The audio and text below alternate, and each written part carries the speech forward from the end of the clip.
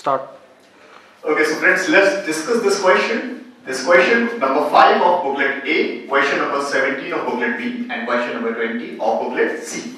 The question says, let A and B are two ends of the longest diagonal of a unit cube.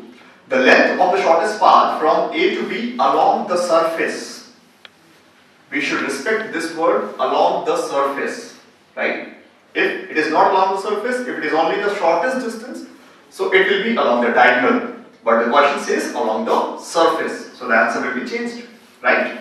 So friends, suppose that this is the unit cube like this. This is the unit cube.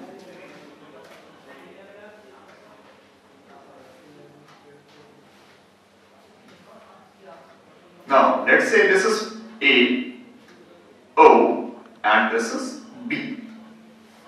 So we have to find the value of AOB means the length of AOB.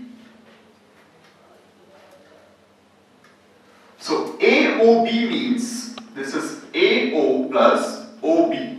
Fine.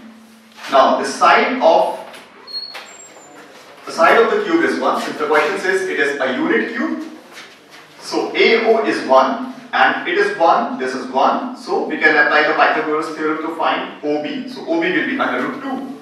So AOB will be AO plus OB that is 1 plus under root 2. It means which choice is correct?